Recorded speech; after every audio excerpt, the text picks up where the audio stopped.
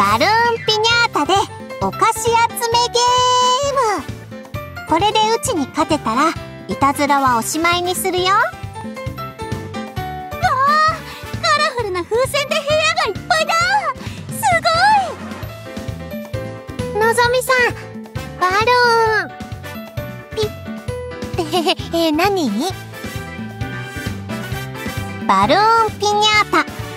風船の中にお菓子や紙吹雪みたいな飾りを入れて割って遊ぶパーティーゲームだよ。お互いに風船を割っていってより多くお菓子を集めた方が勝ち。どうかな？チャレンジしたい人はいる？私やってみてもいいかな？風船の中からお菓子が出てくるなんてとって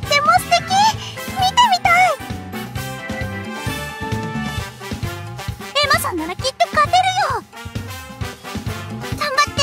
エマさん決まったみたいやね。じゃあ始めるよ。は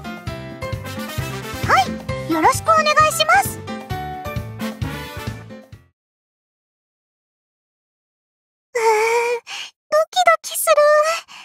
お菓子が出てくるのは楽しみだけど、割るのはちょっと怖いな。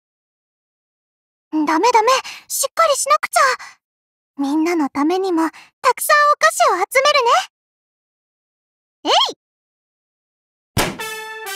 おわ本当にお菓子が出てきたチョコにキャンディー、それからラムネ。嬉しい楽しんでもらえてよかった。でもあんまりのんびりしてるとうちが残りの風船全部割っちゃうよ。ああ私も急いで割らなくちゃ。2つ目。えい！ああれ？キャンディーが1個だけ？さっきの風船からはたくさん出てきたのに。そうそう。全部の風船に同じ数のお菓子が入ってるわけじゃないよ。たくさん入ってるのもあれば、ちょっとしか入ってないのもある。あと、一つでお菓子10個分のラッキーアイテムが入ってる風船もあるよ。頑張って見つけてみてね。えー、お菓子集めゲーム思ってたより大変そうだ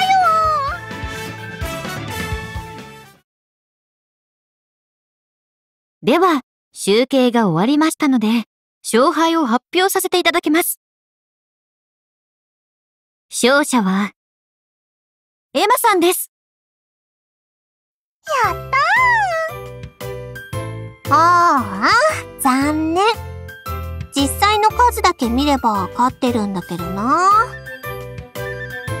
エマさん途中でラッキーアイテム入りの風船割ってたもんね。割った時は驚いたよまさか本当に見つけられるとは思わなかったから。今回勝利の女神様はエマちゃんに微笑んだみたいやね。